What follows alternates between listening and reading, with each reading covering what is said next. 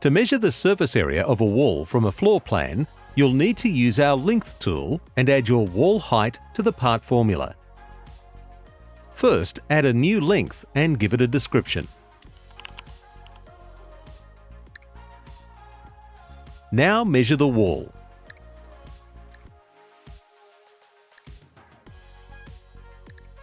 Next, click on the measurement actions and go to Parts.